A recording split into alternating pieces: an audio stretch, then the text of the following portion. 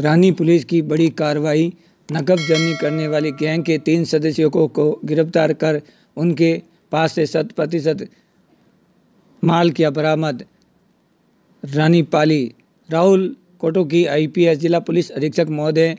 पाली श्रीमान ब्रजेश सोनी आरपीएस अतिरिक्त पुलिस अधीक्षक महोदय बाली के आदेशानुसार संबंधी संबंधी अपराधों की रोकथाम व वांछित अपराधियों की धरपकड़ के अभियान के तहत हिमांशु जांगीर आरपीएस वर्ताधिकारी, बाली के निर्देशानुसार थाना क्षेत्र, रानी मैसोरी व नकबजनी की रोकथाम हेतु गठित टीम के दौरान तीन सदस्यों को गिरफ़्तार कर उनके कब्जे से चोरी का किया गया शत प्रतिशत माल बरामद किया है,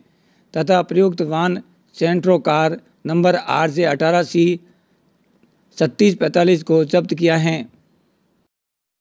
ये था पूरा मामला। दिनांक पाँच जुलाई 2020 को प्राति दिनेश कुमार चंपालाल जाति लोहार, उम्र तीस वर्ष, निवासी क्षेत्रिया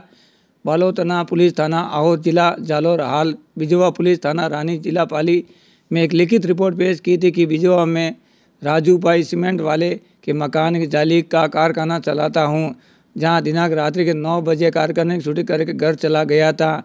बाद जब सुबह वापस नौ बजे लौटा, उस समय इलेक्ट्रॉनिक लाइट के दो नग, एक बड़ा electronic light hammer drill machine बड़ा टेबल